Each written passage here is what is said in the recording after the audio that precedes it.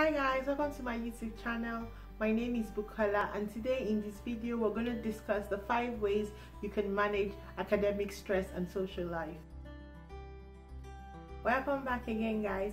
So before we go to discuss today's topic, I would like to say thank you to Bumi Ngozi Babalola, Kayode, Esther, and Ayiba Tony for taking time out to comment on my last video, Business Lessons You Can Learn from Igbo Traders.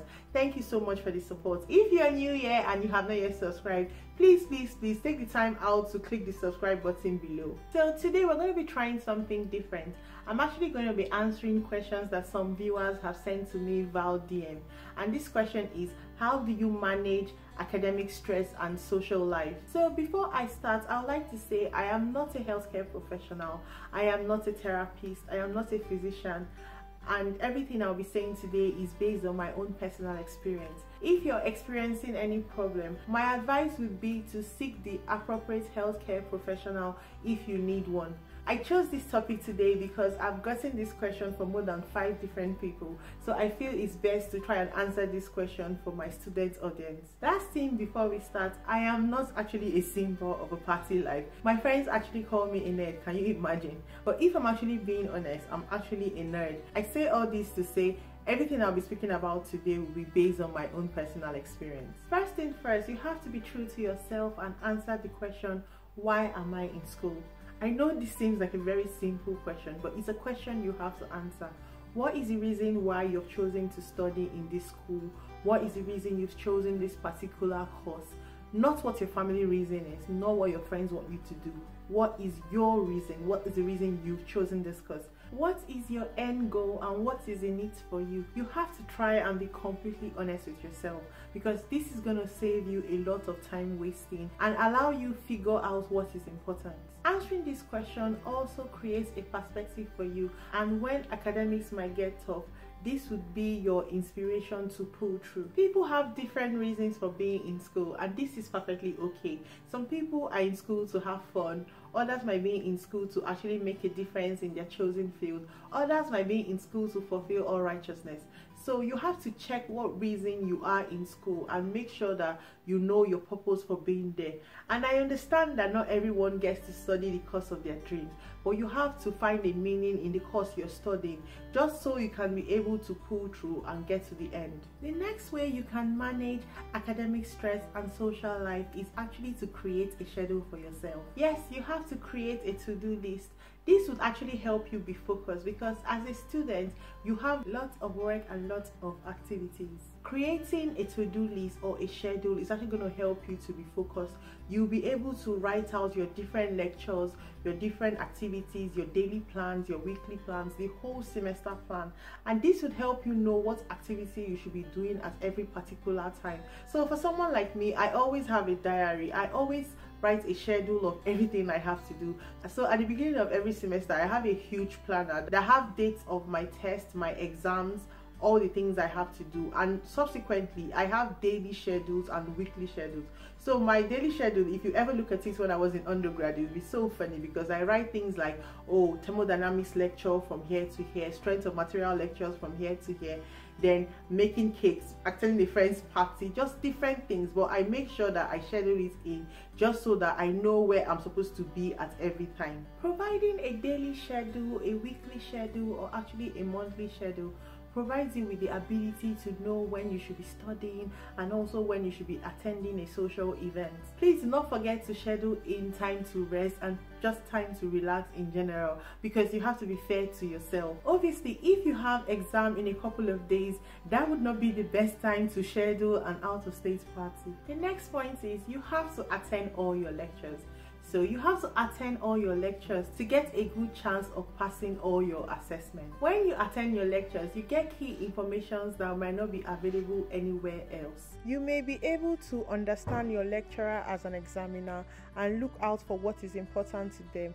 I'm actually speaking from my own personal experience from teaching undergraduate and master level courses and I also know some lecturers. So lecturers tend to give you hints of areas of focus for your exams and tests and you only get to hear these when you attend the lecture or if you're lucky enough to get a recording of the lecture because in general lecturers don't like when their students fail if you're in class and you hear your lecturer say something like i think you should pay emphasis to this topic I feel it's your duty to study the topic as best as you can because it's most likely to be the area of focus for your assessment. I know most of us might have different experiences. So if you feel there's a lecturer you know that actually want their student to fail, please let me know down in the comment section below. Attending lectures is actually good because when you attend lectures, you might not have to read as someone who didn't attend any lecture and don't know the core areas of focus for that particular exam so it helps you make time for social life another way to manage academic stress and social life is to keep the right friends as the famous saying goes show me your friend and i will tell you who you are. This is true. I realize that this is true from my own personal experience. Remember when i told you guys that i'm a nerd? I realized one day that actually all my friends are actually nerds so one day I was having a conversation with a group of my friends and I quickly realized that we spoke about sciences, we spoke about the Big Bang Theory, I actually love that show. We spoke about politics and business and I quickly realized why people used to call us boring during undergrad. Let me go back to my point.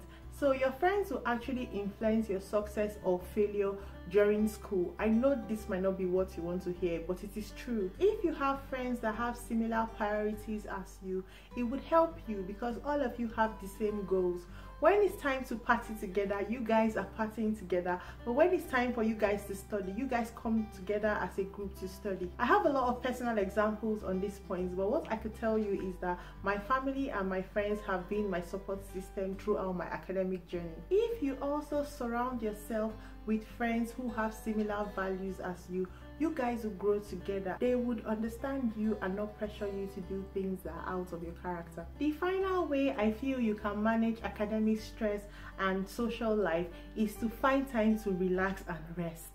I know as students there are lots of work to do but you have to find time to relax and rest because if you're stressed you will actually never get anything done. For me, when I find out that I've been reading one page for the last four hours, I actually stop and try to rest. I try to sleep or watch a movie. I actually do anything, cook anything that will actually make me rest. Do not forget, even as a student, you have the duty to take care of your mental health. So the five ways I feel students can manage academic stress and social life is firstly by understanding why they are in school.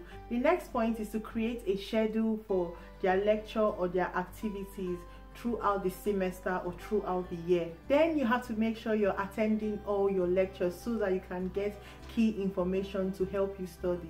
Then you have to make sure you're surrounding yourself with the right friends. And finally, please do not forget to rest and take care of your mental health. So I want to say thank you to everybody who's watched till the end of this video. If you agree or disagree with me, please let me know down in the comment section below. And also, if you have something to add to what I've said, please let me know down in the comment section below if you also like for me to make a part 2 to this video please let me know. I hope you've learned something today. If you're new here and you have not subscribed to my channel please take the time out to subscribe to my channel. And i want to say thank you to those of you who subscribed to my channel so far and have taken the time out to comment on my videos.